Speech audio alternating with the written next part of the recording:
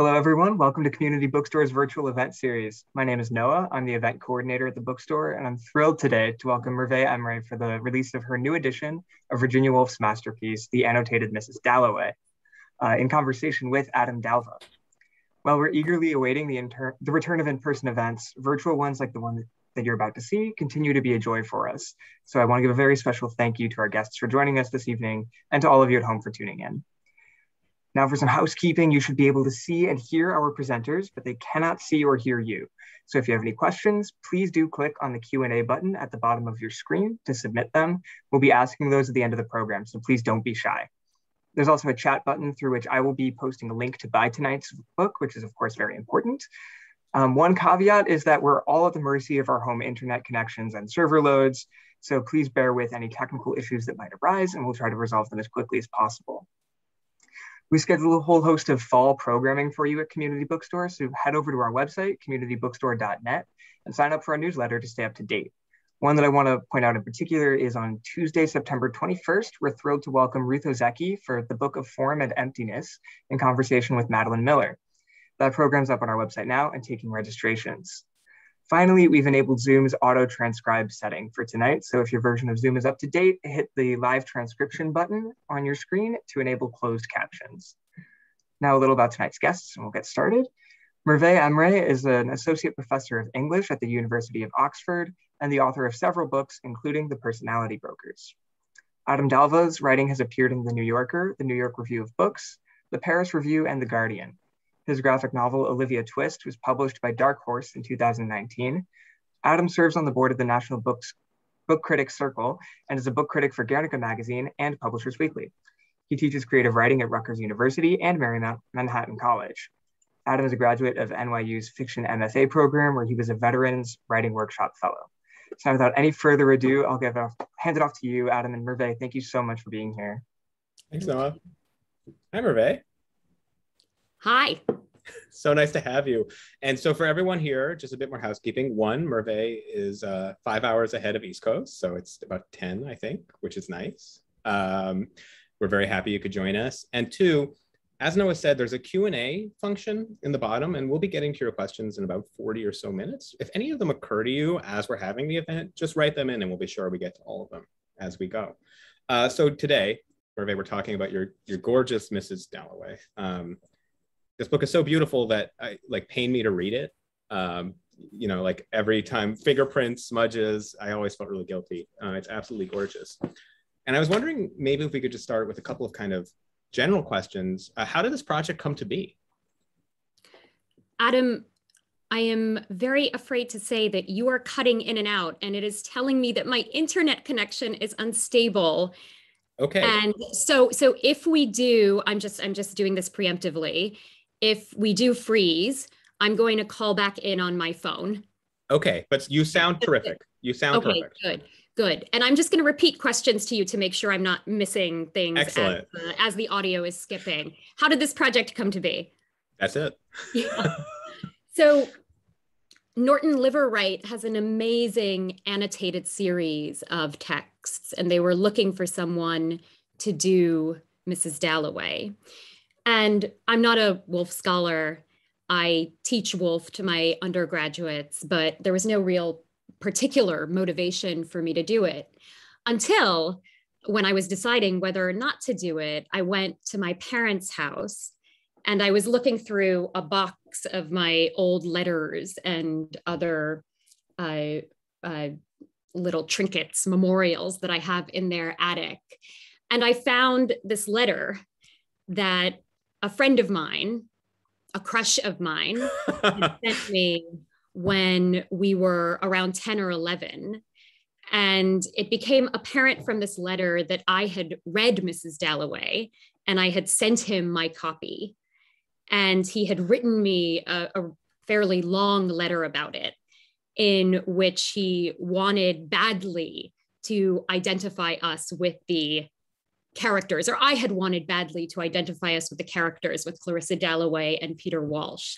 And he wrote me what is now a kind of hilarious letter insisting that we were not Peter Walsh and Clarissa Dalloway, but we were uh, Jake Barnes and Lady Brett Ashley from The Sun Also Rises.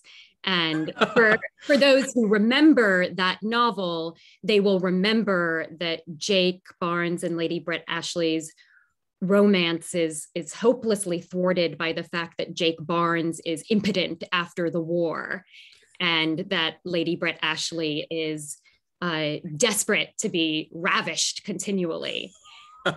and so in, in either case, these were, you know, uh, misguided acts of identification. But it struck me that if the novel had been that important to me at that formative an age, then there was something very much worth returning to in it.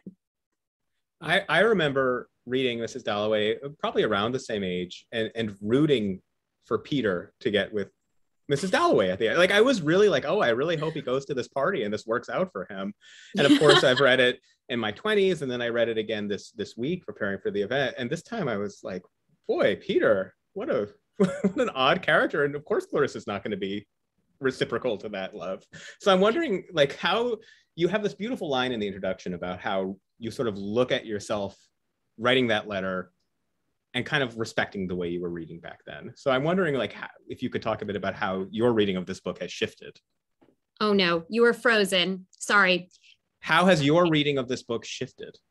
How is my reading? Years? That's a that's a great question. So so I think it's shifted in several ways. I mean, first, along the lines that you describe, which is I think that there that I come to it now with both sympathy and skepticism for many of the characters. Peter Walsh is a great example, and one of my favorite critics, Andrew Miller, describes him as gormless. And I like that word a lot. I think it, I think it works very well. So, so it's shifted in in that sense, in the sense that I think as you get older, you simply see people in many more dimensions than you do when you are younger.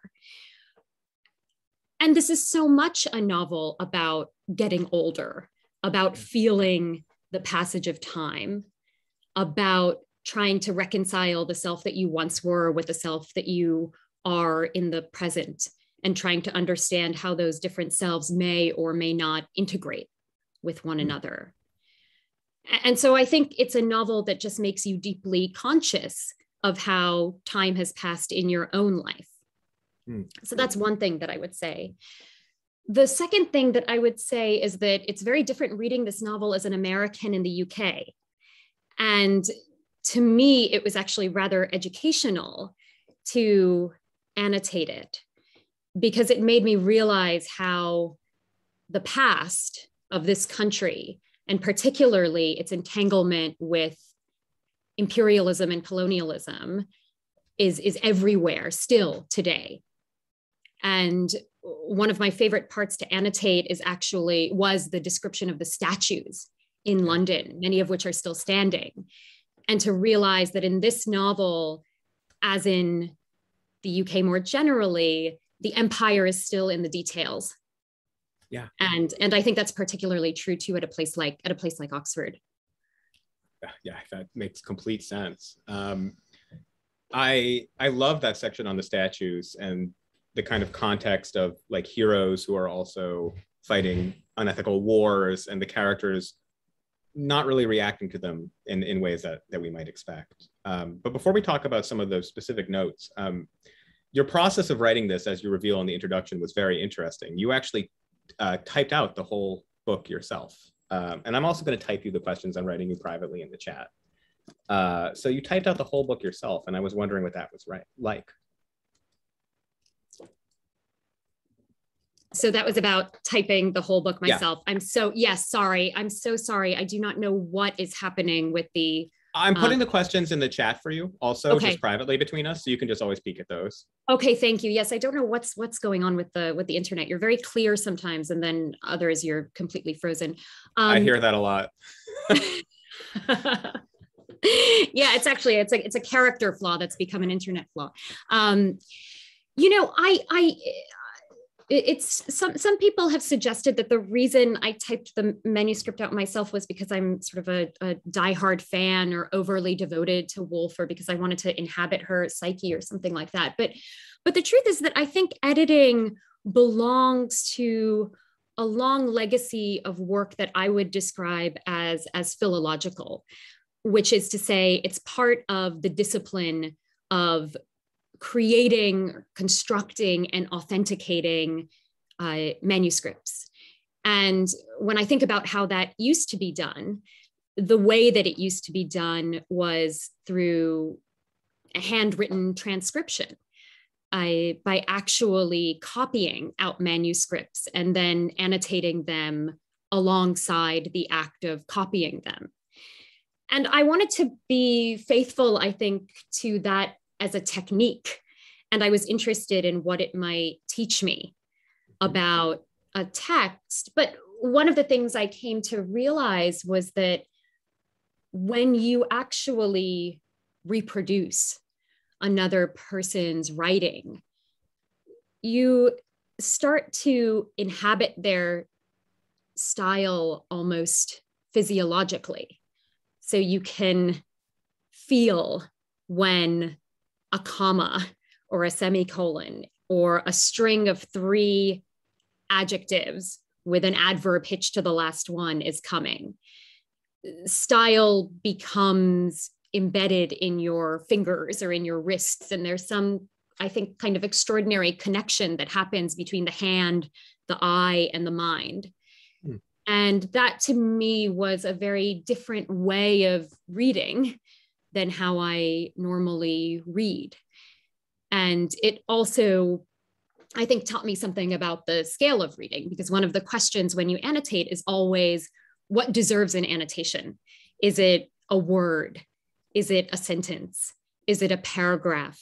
Is it an entire interlude? We'll call them interludes, not chapters.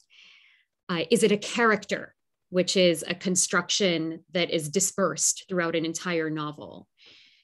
And so ultimately, I think the reason that I transcribed it is because it taught me a different way or multiple different ways of reading at different scales when when you were doing that when you were there are over 400 notes to this book, and I'm going to type this at the same time. Um, are there? Oh my God. 400 okay. 430, I think, or so. Um, and I'm wondering, before I ask you about some of your annotations, is there any one note that most surprised you or startled you? Any bit of research that you were completely kind of blindsided by? Uh, I don't know that there was anything I was blindsided by. I think one of the things that was surprising just going through her notebooks was that she is one of the most meticulous and deliberate theorists and planners that I have ever encountered. And to read her notebooks and to see her try out different forms for the novel to see her invent and then discard different characters, different plot lines, different ways of bringing things together was just extremely impressive. And when you couple that with her diaries, one of the things you see is that she is horribly anxious and self doubting. She hates the novel at every turn, and she thinks about throwing it into the fire multiple times and she's never happy with the end result. So even when she's reading the proofs, when she's waiting for the reviews to come out, she is she she she simply is not happy with the end result. And even then she's wondering how could I have made it better? Mm. And I, I think there's something wonderfully demystifying about that because when we have uh, when we read a classic or when we read something that has been canonized, uh, before our lifetime, I think we come to it with a notion of, of perfection and infallibility. And I suppose that's the other thing you learn when you transcribe something is that sometimes you you cut a clause or you switch some words around or you have another adjective than the one that she has and you think you know what my, it, it would have worked better there, there are ways it would have been better, which is which is I'm sure completely blasphemous to say, but but but I, I I do think that to me the most surprising thing was that this could have looked very different than than how it looks now. I love when you break into the list of animals that she uses. She has like the pet name, and then there's like a maybe an alternate list of animals, maybe a list of animals for another project. But just you can just see a brain moving. Well, yes, I mean, and, and when you look at the manuscript, so what you're referring to is this wonderful list that she has in the third book of the Hours books. Yes, that list yep. of animals, and she was actually working on a on a children's book at the time and this is this is one of the things that i actually think the internet or, or social media is really wonderful for because I, I came across the page in the manuscript and i had no idea what it was and so i took a picture and i put it on twitter. And immediately uh, a woman named Diana, who's a graduate student at Columbia, who probably is is a proper Woolfian, was like, "That is the list of animals for this children's book that she was working Amazing. on for her nephews." And I believe Diana's credited in that. I believe she's thanked in that in that footnote, right? Um, yep. And yes, yes, yes, and uh, and so that's the other wonderful thing is you find pages for other books that she's working on. You find manuscript pages for her essays. You find her exercises in greek because she was trying to brush up on her greek. You find sums in the margins of the manuscript for how much rent she and leonard own uh, how many copies of books their their press has sold.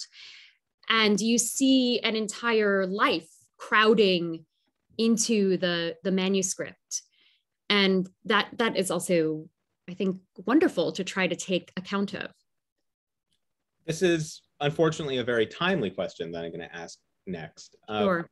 I've often thought of mrs dalloway as a post-war book and in your notes very immediately it also became clear that it's a post-pandemic book that mrs yeah. dalloway has had suffered from the influenza and her heart has it's changed. I don't know if her heart is weakened as much as that it's changed. And I was wondering if you could talk a bit about the impact of, of the pandemic, which you hit a few times in your notes on, on this book, and also on the character of Clarissa Dalloway.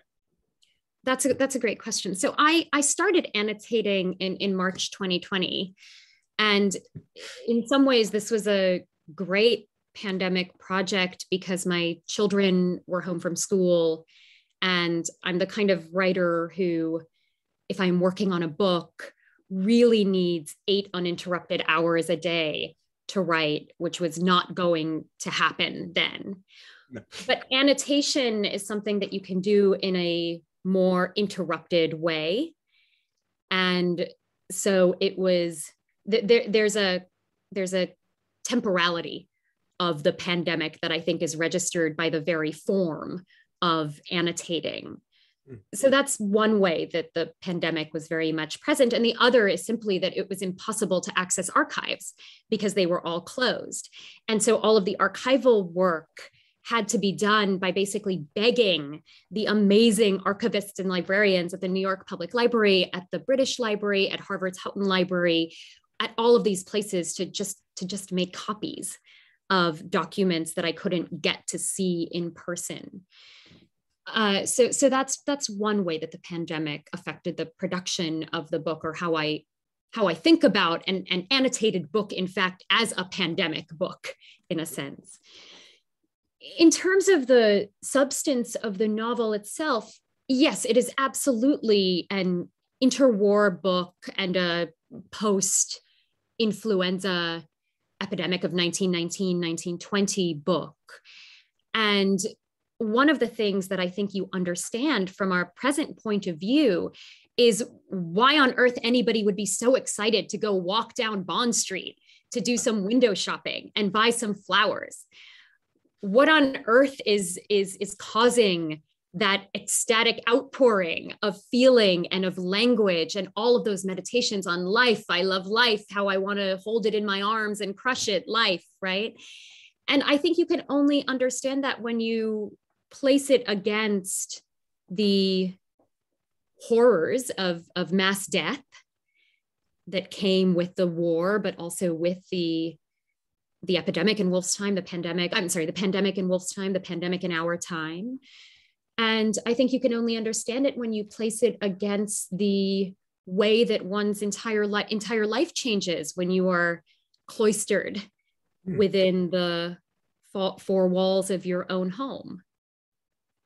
That's that's uh, yeah. I was really jarred in a good way when I was reading it. So you mentioned Bond Street, and before I'm going to hold something else up to the camera, um, which are these gorgeous maps, gorgeous, gorgeous maps. Yes, my husband, uh, my husband, my husband made those, which is awesome. Um, yeah. And I'm wondering, for me, there was something very moving while I was reading your notes about specificity. Um, reading about Durtnall's van and then seeing a picture of Durtnall's van and finding out what Durtnall's van is, reading about walking down a street and seeing it very strongly mapped. I always I always think of, of Woolf as someone who exists in a sort of dreamy writing environment. So the very strong groundedness of this book, how almost everything in it is a reference to something extant and, and real, was fascinating to me. And I was wondering, I was wondering why you think she grounded it so strongly in the city as the character, the very specific objects and places of the city. Yes, no, I, I think she is an immensely spatial writer, which is something that I really uh, only only realized well in, in part through helping christian my husband make those maps. Because what we had to do to do that was actually buy two fresh copies of mrs dalloway and we each read with a highlighter in our hand highlighting every time there was a location mentioned wow. a street name, a shop name, a park. And every time there was a time marker. So whenever it says Big Ben struck the half hour, I, or anytime it said, you know, the clocks on Harley Street struck 1:30. And reading in that way is very alien to me. But I think that it's of a piece with how Woolf would read her surroundings. And I think of someone like Francesca Wade's wonderful book, Street Haunting, which is very much attuned to this aspect of Woolf. And I think that one of the things that makes the novel so intense and where the novel derives a great deal of its tension from is, is precisely what you point out, which is the intense specificity of geographic and historical detail run alongside those dream states run alongside the kind of porousness or the unrootedness of consciousness in the mm-hmm. novel. And when you bring those two things together, it creates an amazing kind of aesthetic tension. Yeah, and and and on that on that idea of consciousness, you talk a lot at the in the notes and in the introduction about the sort of what Woolf thinks of as her method for coming to know a character, for understanding a character, for for seeing them. And I was wondering for maybe for those in the audience who haven't read this book yet, if you could maybe go a little into what Woolf's method means when it comes to character, because I was fascinated by that. Sure. So I think what I will do is actually just read one of her her most famous diary entry when she Excellent. talks about character. Let me just make sure I can find it. Where are you?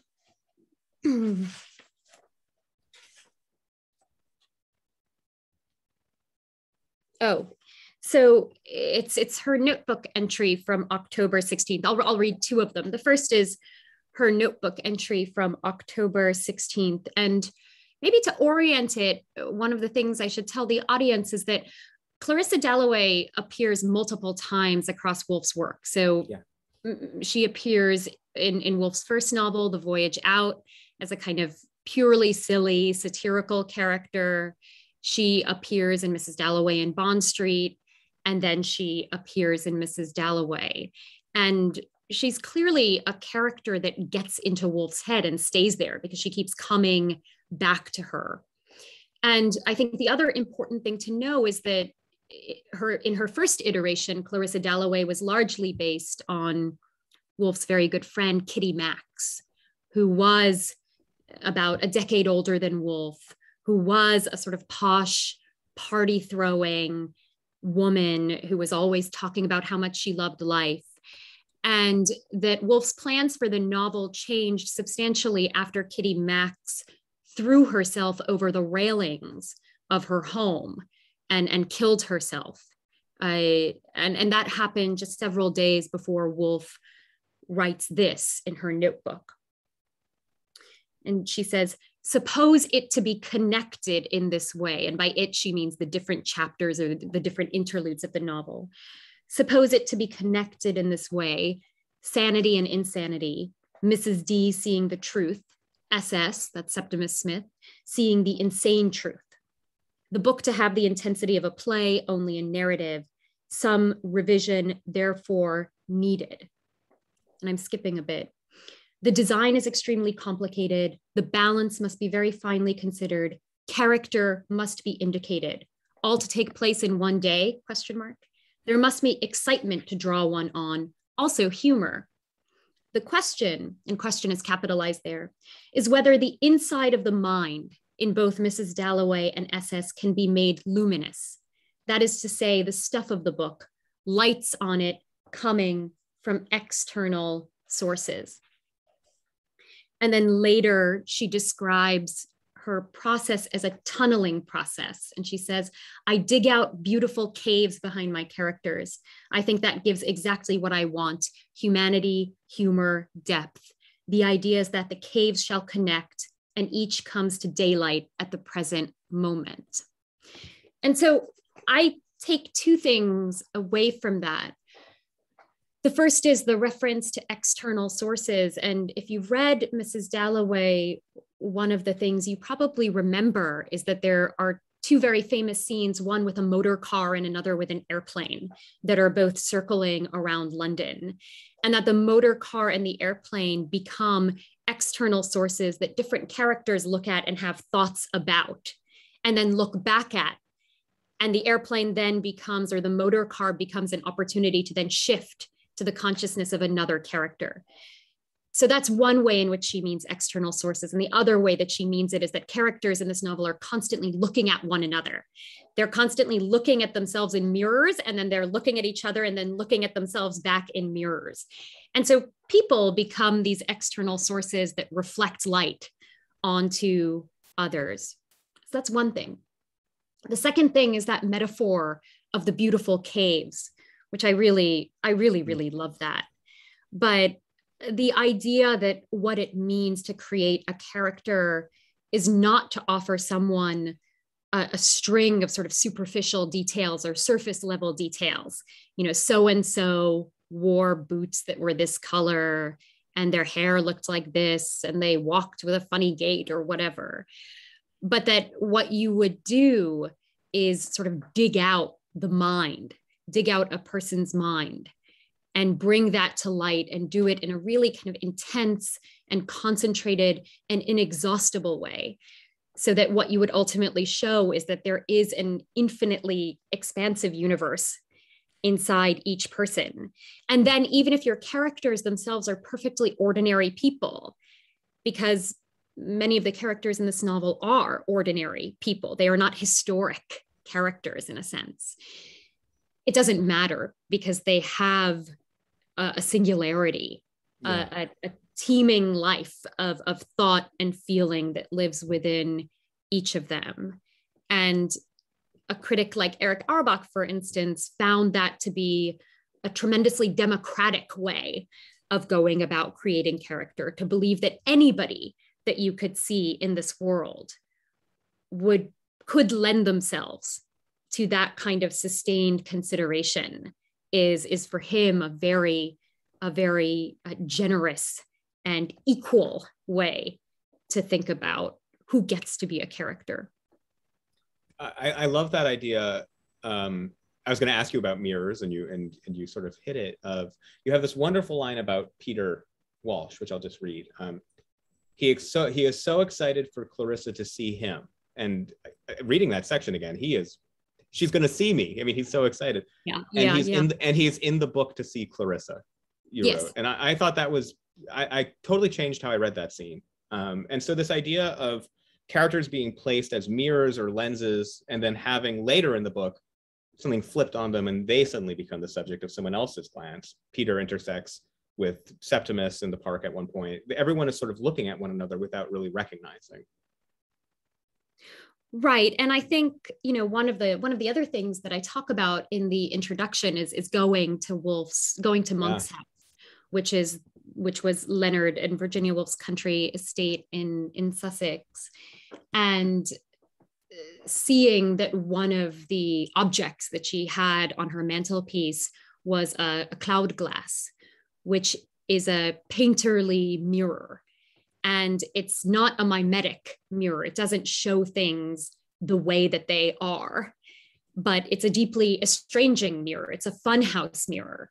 And it shows you things that are far away too close and things that are too close upside down.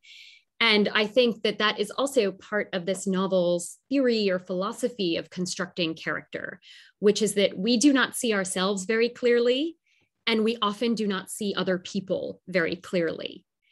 And the sum total of those distortions is enough to is enough for the drama of any novel.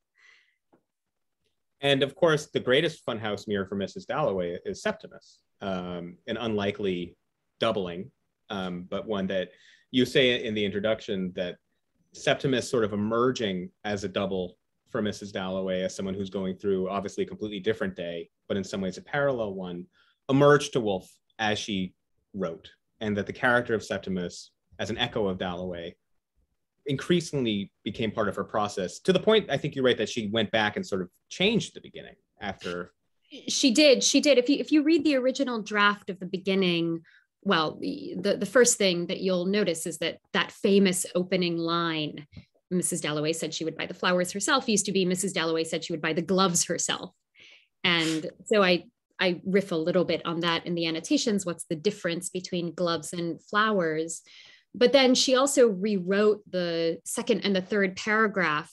And for those who've read the novel, you will remember that in that third paragraph, Clarissa has a memory of being a teenager at her family's country estate and opening the windows and plunging into the air. And of course, it's supposed to be a foreshadowing of Septimus opening those great Bloomsbury windows and plunging into the air himself. But Woolf only writes that or, or introduces that in her revision of the novel. And in her, I think, 1928 uh, afterword to the to the yes, in her afterword to the 1928 edition, she says quite explicitly that she was going to have Clarissa kill herself, and that ultimately she decided to have Septimus kill himself instead, but that the two are joined by a belief in the value of life, which might seem like an ironic or a paradoxical thing to say when you're talking about someone, a character who is committing suicide.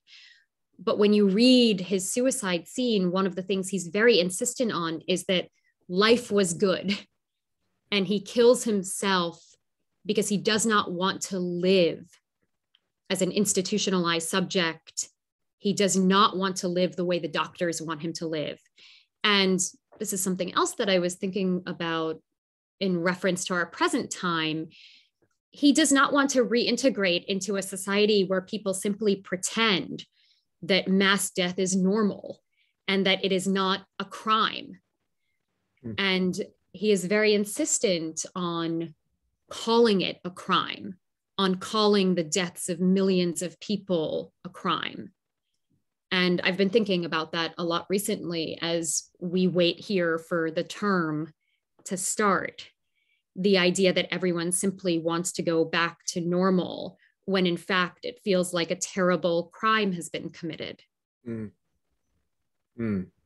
And Septimus, as maybe a repository for some of Woolf's own feelings on doctors because Septimus has two doctors, neither of whom is of quality. I would I would say one one's better than the other, but they're both pretty bad. Um, and, and maybe her own mental illness and your notes really touch on this, impacting her creation of, of the character. Yes, and, and her first suicide attempt involved her jumping out of a window she writes in her journals about her hallucinations and there's a very beautiful passage about lying in bed and seeing the watery golden light on the walls. And if you read the very famous scene where septimus is sitting in regent's park and the trees are brandishing at him and the light is dazzling every leaf with good pure humor. You see very much Woolf drawing on her own hallucinations. So there's that. There's also the fact that when she hallucinated she used to hear birds chirping to her in greek choruses. He also hears that in the park. And in her diaries she says that the the mad scenes make her squint. She can mm. only write about 50 words a day because they try her so hard. And you know she she's her she, i think i was just talking to somebody else about this actually. You know the the middle period novels. So mrs dalloway to the lighthouse orlando the waves. I think those are her best novels and they're also the ones where it seems like she's kind of exorcising her autobiography yeah. as much as she can. And then and then she doesn't return to that again and and and with that thought in mind one of my favorite bits of analysis you have in the book um, is on that very extraordinary sequence where clarissa responds to septimus's death. Mm-hmm. and one of my favorite lines in the whole book is he made her feel the beauty made her feel the fun. And you said that that wasn't in the uk version originally i think and that that's sort of a contentious line among Woolf scholars. And i was wondering if you could talk i was fascinated by that yeah no i mean she cut it and this is another sort of interesting thing to realize right is that we we basically think that once we have the mass production of books we know what an authoritative edition of a novel is. So for instance i'm just what's on my desk right now? We think there's only like one version of the, well this is a bad example because it's a translation but anyway but we think there's only like one authoritative version but one of the things you realize, and anyone who's a writer will realize this immediately, is that people change all sorts of things at all sorts of stages that don't always make it through to every edition. And Woolf had a different British and a different American publisher, and she leaves that line. He made her feel the beauty, made her feel the fun in the American edition, and she cuts it from the British edition. And what's what's in a line? Well, I think what's in this line, what's in this line is, is, is imagine the kind of person who would use somebody else's death to feel the fun of presumably their own life maybe life generally as a concept but but also their own life at a party that they are throwing which the entire British ruling class is basically attending that night, right? Imagine the kind of person who would use the death of a sort of working class, aspirationally middle class, shell shocked veteran in order to feel the fun of her own life. So I think to include that line is to include a kind of judgment of the character and the class that she's from. And it's a judgment that I think speaks to how people use others, how they exploit others, mm. the limits of the empathic imagination. But I think to leave it out is to leave things a little bit more ambiguous. And either way, it suggests that the novel lives two different lives and that the yeah. characters live two different lives. And I find that very, very interesting. Um, and one of the things I told you, Adam, before we opened the webinar up is that, you know, I, I in some ways feel like I'm a I'm a con artist right now because this novel is like 96 years old and i'm like stunned that people want to talk about it I, but but every time I think of that line and I think about novels continuing to have lives and to live in different times, I think, well, you know, maybe I'm a maybe I'm a justified con artist. maybe maybe I can theorize my my con artistry. I don't know. Well, as someone who was conned, I told you this beforehand, but I'll just repeat it to everyone because many of you have probably read Mrs. Dalloway. I've read Mrs. Dalloway, I think this is my fourth time. I hadn't read it in a few years and about 40 pages to go. The party was starting, and I thought, oh, I hope the party goes well. I really want it. You know, I really want her to succeed. Uh, and there's something magical about that, a book that bears rereading. And I yeah. think part of it goes back to what you were saying about character shifting, that my loyalties as a reader veered in, in this reading in some ways, and I found myself noticing different things uh, than I than I had before. And, and, maybe as a segue, and uh, Noah's just asking, we have one question in the Q and A chat. Now I can take one question. No one else has any yeah. other questions. You so can throw some me, questions. You can ask me anything. We can a, we can AMA this. Yeah. AMA. Uh, but a question I have for you before before we go to the I'm sure now bustling Q and A section no, is it's uh, quiet. It's quiet. Not a party in there. Not a party in there. Can you tell that we've both been teaching on Zoom? Zoom teaching is a lot about. Can you can you comment? Yeah. Could you? Yeah, yeah. Does anyone want to speak? Yeah. You can talk in the chat. That counts as participating. Uh, um, the you you mentioned a bit ago that Mrs. Dalloway first appears in Voyage Out. Um, and you had a fabulous line about Voyage Out, which was that it's one of I think two heterosexual kisses in in the Woolf of um, and yes. of course of course I as I was reading this uh, the sexuality of the characters, the sexuality of Woolf, and her sort of dread of enduring heterosexual marriage in context of her marriage to Leonard, all of that was fascinating to read for me this time. And yeah. I was wondering if you could provide some context to our audience about that. Well, what I'm going to do, I did this. So, so, I taught a class on Mrs. Dalloway at the 92nd yeah. Street Y. Amazing. And I read the what is known among Woolf scholars as the as the orgasm scene in Mrs. Dalloway. And, yes. and, it was funny because, you know, if you know the 92nd Street Y, you know that the sort of average age of the the student is like you know 75 yeah. And I, I read this sort of out loud in, in a like slightly breathy voice and it was this you know this this pattern of of uh, of um of rapt listeners. So i'm just going to read that scene that um Please. where where i think the queerness of the novel is most um is most evident and is and is interesting. Okay where is it?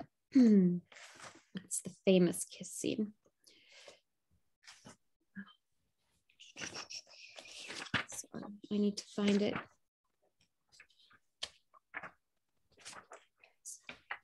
Ah, here it is. Um, so she's she's talking about how she failed Richard. So she failed him sexually, right? Clarissa is thinking about how she failed her husband Richard sexually.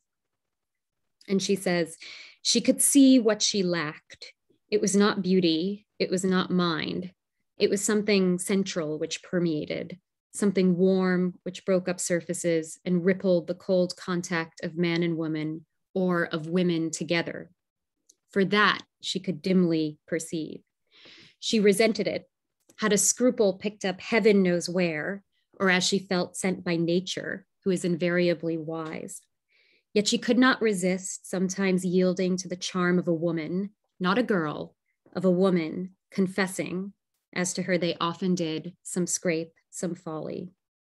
And whether it was pity or their beauty, or that she was older, or some accident, like a faint scent or a violin next door, so strange is the power of sounds at certain moments, she did undoubtedly then feel what men felt. Only for a moment, but it was enough. It was a sudden revelation, a tinge like a blush, which one tried to check. And then, as it spread, one yielded to its expansion and rushed to the farthest verge, and there quivered and felt the world come closer, swollen with some astonishing significance, some pressure of rapture, which split its thin skin and gushed and poured with an extraordinary alleviation over the cracks and sores.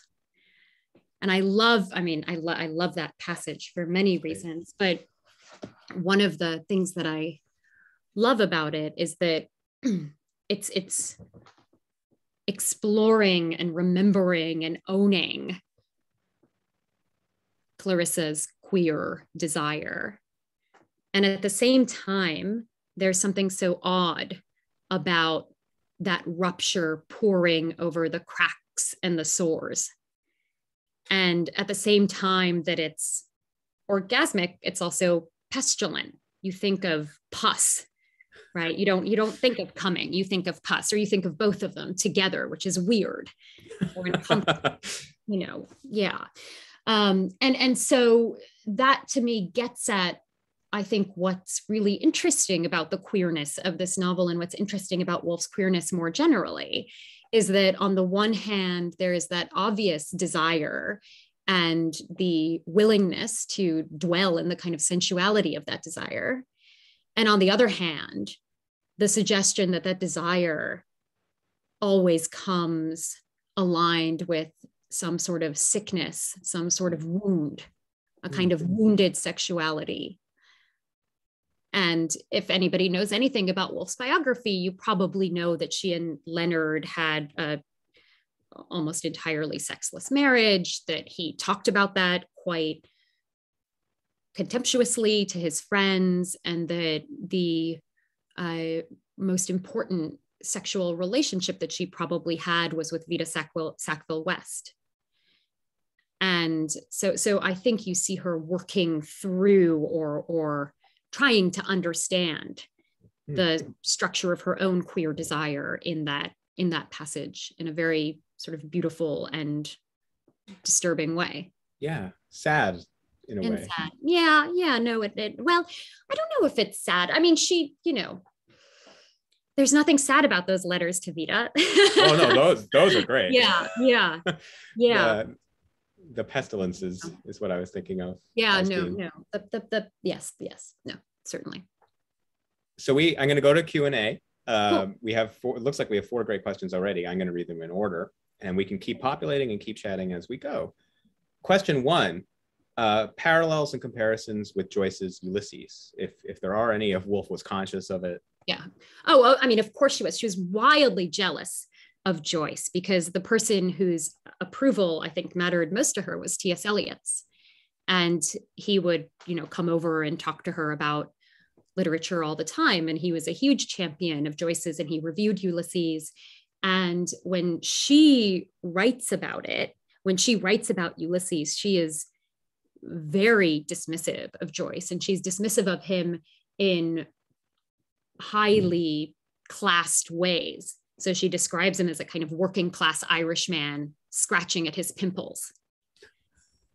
and you can see her snobbishness come out. And I think in that same entry, she even writes, like, I only want to write literature that touches the bluest blood. Only the bluest blood will do for me. And so there's a kind of dismissal of Joyce that is, you know, both deeply problematic, xenophobic, classist, et cetera, et cetera, but I think is almost entirely motivated by her own jealousy of him. And then the formal parallels, of course, they both take place in a single day. Of course, they involve people walking around a city. But she uh, says very interestingly in her diary for in her diary when she's talking about planning Mrs. Dalloway that she feels like Joyce gives you all internals and Eliot gives you all externals. And what she wants to do is find a way to bring those two into closer contact than she thinks either of them do. So she's very much thinking of herself as doing what she feels like both of them fail to do sufficiently, one in his prose, the other in his poetry. And then the kind of third modernist that you would want to, I think, put her into conversation with is Katherine Mansfield, whom she was very jealous of. She was very, I mean, they were very good friends. And I think she loved her deeply. And Katherine Mansfield actually died while she was writing Mrs. Dalloway. And so her death, along with Kitty Maxse's, is another one that kind of haunts the novel. But her um, you know she, she always wrote most viciously about the people she was friendliest with. Oh, yeah. And so her right nothing as, as new under does, the sun. As one does yes. There's something biting about tom eliot you know like a snake like an eel like a slippery eel. Um yes so so certainly certainly in dialogue with with joyce with eliot with mansfield um absolutely. Excellent. Um I loved in, in the book, this is just more of a comment, how you often included what Woolf was reading at the time as she was writing sections of this book. I just thought that was seeing her as a reader, and I know she's a great critic, but a reader while she's writing this was really interesting. Yeah, I mean it's it's you know it's also just interesting what she takes from other yeah. people. I mean a word that I keep using these days that that I take from her which she takes from Austen, which I really like is the word unpretending. I and and that's one that has like a very clear uh, clear lineage. But it is it is you know interesting to see her sort of magpieing her way around around the reading. I love that. Uh, now we're just getting compliments, which aren't questions, but very flattering. That's uh, so nice. I'll take compliments. We, I will take them. Thank you. We will absolutely take compliments, but I'm going to go back to questions. We have an autobiographical question. You both, and I'm just going to say you because we have 10 minutes to go. You read this at 10 years of age? Six question marks. Please say more. I mean, I was a very um it's a very lonely, nerdy kid. And I spent all of my time in the library when I was in elementary school because I didn't feel comfortable going out to play at recess. And so the librarians were kind of my best friends. And I the the boy that I write about in the introduction, the person that I read Mrs. Dalloway with, I, who is still one of my very close friends, he reminded me when I was explaining what I wanted to do in the introduction of this book that not only had we read Woolf together, but we'd actually started out by reading Fitzgerald, and that we had read The Great Gatsby and we'd read This Side of Paradise, and that I liked This Side of Paradise more than The Great Gatsby, and this was actually a point of contention between us. And then we read Woolf, we read Hemingway. I think we might have read Salinger as well, which would make more sense probably. But I mean, I read a lot of things before I understood them. Yeah. And I think I I think I liked that. I think I liked that feeling of of ignorance and of misunderstanding. And I still like that. I still like that. But yes, I mean, it, it can really only be explained by the fact that I had like very few friends and that I spent a lot of my time in a library and that I probably felt more comfortable, as I still do now, being in the company of dead people and the traces that they've left behind, uh, which is, you know, probably why I'm an English professor. So. Uh, that would have been basically my answer too, except for the moving yeah. childhood crush. So yeah, right. I, I, think uh, no one like that at the Browning School for Boys. Um, okay, next question. um, Merve, you speak so wisely about Woolf and Mrs. Dalloway. Thank you for this event and sharing your work. Has annotating this novel made you want to become a Woolf scholar or do more writing about your interpretation of Woolf's work? I hope so, and ask as a past academic who published on Woolf as an elegist. Thank you, Karen Smith. Oh, thank you, Karen. That's really that's really lovely. I mean, I think I'm gonna. I would like. I mean, I shouldn't say anything because I haven't had a conversation with the press about it. But I'd really like to do. Uh, I'd really like to annotate Orlando, because that Ooh. one just seems like it would be deeply fun and and yeah. visually would be thrilling. And I really want to um, I really want to sort of pal around with Tilda Swinton. So for for all of those reasons, I think I think I would like to come back to that. But you know, the the context in which I think I'll probably come back to well first is that I've been sort of thinking about putting together a kind of essay collection uh, called um, "Love and Other Useless Pursuits" because I've been writing a lot about love and friendship sex and desire recently and those essays all kind of coalesce around the same thing and part of the argument that i'm interested in making is that our primary frameworks for understanding love and desire are psychoanalytic and they have nothing mm. at all to say about beauty so Freud and Civilization and his discontent says psychoanalysis has nothing to say about beauty. Like, isn't that weird that we theorize sexual attraction and desire and say everything about mommy and daddy and me, but have nothing at all to say about beauty? And I've, you know, I think that beauty, aesthetics, love, criticism, theory are all kind of useless pursuits yeah. And I would like to put together this essay collection in which beauty is introduced more firmly into accounts of love and friendship and desire. And I think Woolf comes in for me there. Mm. Uh, and I'm particularly fixated by this line in between the acts that repeats across several of Woolf's, or a version of it repeats across several of Woolf's novels, which is love and hate, how they tore her asunder. Mm-hmm. And that idea of being torn asunder is very is very interesting to me and what it means to be torn, what it means to put yourself back together. uh, what kinds of possibilities those open up for love and for beauty and for the making of art that's that's an interesting question for me so i think i think both an annotated orlando hopefully and then also probably um, being torn asunder Ooh, send me that. That sounds great. um, the great scholar Wendy Moffat said this is wonderful. Thanks. So thank you. Wendy, Wendy hello. Hi, Wendy. Wendy is Hi, also Wendy. my aunt. Wendy is my aunt, which is she's your aunt. Oh my goodness, that's so but nice. An amazing critic. Uh, now, next is Erin Rose with a great question. Um, I noticed that Peter Walsh refers to the sudden violent death of Clarissa's sister when a tree neglected by Clarissa's father, according to Peter, fell on her. Clarissa never refers to this. Did you discover in any of Woolf's notes that she deliberately didn't have Clarissa do that? Or do you think she might have forgotten?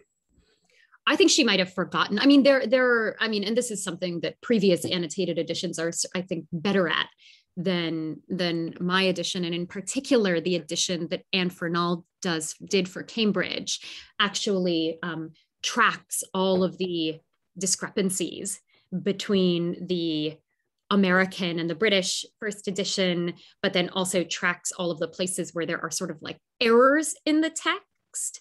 So, for instance, Elizabeth is referred to twice as wearing a red dress, and then once she's referred to as wearing a pink dress, right? So those kinds of those kinds of inconsistencies in just um, you know in in detail, um, and and it seems to me like that's the sort of thing that Woolf would have one character mention and then sort of not think to um, not think to come back to it again. But I mean, the, the other thing that it speaks to, right, is that I think it goes back to a point that we made earlier, Adam, which is that I think people see us very differently from the ways that we see ourselves. And what might strike others as a formative or traumatic event in our lives mm. might not register that way for us, uh, either because it's not or because it has been buried quite deep or for a variety of other kinds of reasons. But that's one of the other things that I think this novel teaches us is that the, the narratives, the causal narratives in particular that we impose onto others are not ones that they would necessarily sign onto themselves. Oh, I love that. Yeah, that's very, very interesting. Now, the chat filled and we only have about three minutes. So if we don't get to all your questions, we're sorry. I'm just going to take them in the order we hit them. Um, and this one I think is a big question, but an interesting one that we haven't gotten to.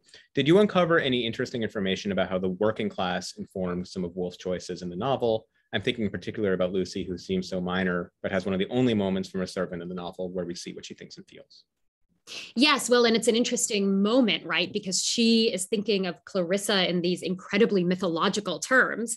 Her her employer is a kind of uh, warrior goddess who has come from her walk and must be tended to. And there's an amazing, and there's actually a series of annotations about this, which is why I'm getting excited about it. Uh, there, there's there's a series of annotations about how Lucy sort of goes on imagining Clarissa putting her into this mock epic for about two paragraphs, and Clarissa looks at Lucy and gives her like a sentence of thought and then simply walks away from her and one of the things to to register about this novel is the way that interiority gets distributed among the characters that belong mm. to different classes. And you see this especially in the beginning, at the beginning of the party, where everyone who is preparing the party, all of the servants who are preparing the party, are pictured as kind of rushing around thinking about what the guests want but not having an opportunity to actually reflect on their own lives. Mm-hmm. And if you want to read a little bit more about Woolf's relationship to the working class, I highly, highly, highly recommend Alison Light's book, uh, Mrs. Woolf and the Servants. Great. Uh, that sounds amazing. Um, do we have time for one more? I think we have time for one more very quick one. And I'm just kind of trying to find one that we can answer quickly. Okay, I'll just answer the first one and then we'll close. Um, I first discovered you, Merve, through your analysis of Leonora Carrington, and I can't help but think about how both Woolf and Carrington had suffered at the hands of doctors. Are there any other comparisons you can make between the two? Well, my, my parents are doctors. No, no, I'm joking. okay. you know, it's it's funny because I just wrote um, Leonora Carrington has this great unpublished and unperformed play called The Baa Lamb's Holiday which was adapted by the wonderful composer Olga Neuwirth into New, Neuwirth into an opera called Baa Lamb's Fest. uh, and it just had its second ever performance at the Ruhr Triennale Festival in Germany. And I, I wrote a piece for the program catalog. And uh, in in between the acts, Woolf has a great line where she uh, where the narrator is registering the sound of the sheep baaing in the background uh, of this sort of pastoral setting, and she says something like "sheep have no souls," and then Leonora Carrington writes this entire play about how sheep do have souls, and they are dirty souls, and they're they're these like filthy, oversexed rams. Uh, and uh, they're doing all sorts of like nasty things to the flock um, and so it is it is maybe a little bit unsatisfying to say that like yes doctors connect them but they're also connected by sheep and so I, no, I, I highly, good. yes, I highly, I, I highly recommend listening to uh, Baalam's Fest because it's a really great sort of electro techno opera. Um, and and yes, I, I will, I will say that sheep uh, is the connection. Love it. wow, what a note to end on. I love that. thank you so much for that. And thank you both for this really wonderful conversation. And to the audience, especially for your really excellent, engaging questions. Great questions. I wish we could yeah. get to them all, but it's getting very late in Oxford and we don't want to keep Merve up all night. Um, so again, thank you, Merve, Adam. This was fantastic. Thank you. And those of you at home, please consider purchasing a copy of the annotated Mrs. Dalloway, and we hope to see you at another virtual event very soon. Again, thank you for joining us. Have a great evening. Thank you for having me. Thank Bye, you. guys. Thank you. Take care.